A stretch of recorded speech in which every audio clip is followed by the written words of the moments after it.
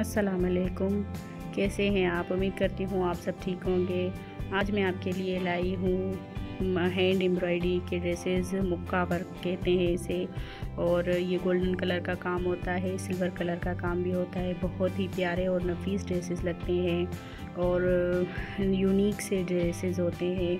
अगर आप शादी ब्याह में बनाएँ तो हर किसी को एक जैसे ड्रेसेस या मिलते जुलते होंगे, लेकिन ये बिल्कुल यूनिक ड्रेसेस होते हैं, बिल्कुल अलग से होते हैं और बहुत ही मेहनत से बनते हैं। इनमें मिरर्स भी लगते हैं और ब्लैक पे वाइट भी आप लगवा सकते हैं। ये देखिए, आप डिज़ाइन ब्लैक पे वाइट ये कितना प्यारा लग रहा है।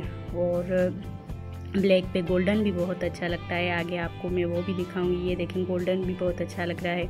और लाजमी नहीं है कि आप प्लेन कपड़े भी लगवाएँ, आप फूलों वाले कपड़े पे भी लगवा सकते हैं, आप कॉटन पे लगवा सकते हैं, आप झाझट पे लगवा सकते हैं, आप सूसी पे लगवा सकते हैं, ये देखें आप सूसी पे लगा हुआ है, ये शलवार बनी हुई है, और ये है ड्रेसेस ये रॉ सिल्क पे बना हुआ है और ऐसे ब्राइडल ड्रेस भी आप इसकी बनवा सकते हैं और ये मैंने वीडियो इसीलिए डाली है, आपको इससे आइडिया हो कैसे डिज़ाइन बनवा सकता है बंदा, ईद के लिए सिंपल बनवा सकता है, शादियों वगैरह के लिए हैवी ड्रेसेस बना सकता है, पार्टी में भी वेयर कर सकता है।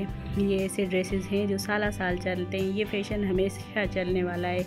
कभी ख़त्म होने वाला फ़ैशन है। ये फ़ैशन तो एक आता है, दूसरा जाता है, लेकिन ये वाला फ़ैशन जो है, ये हमेशा चलता है। ये वाले ड्रेसेस हमेशा चलते हैं। ये सदाबहार ड्रेसेस होते हैं। वाइट कलर की शलवार पाँचों पे काम, ये तो बहुत ही प्यारी लगती है यूनिक ये भी पाँचों पे काम करवा सकते हैं आप।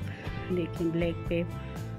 बहुत ही ब्लैक और वाइट पे तो और भी अच्छा लगता है ये कॉम्बिनेशन रेड पे भी बहुत ही प्यारा लगता है।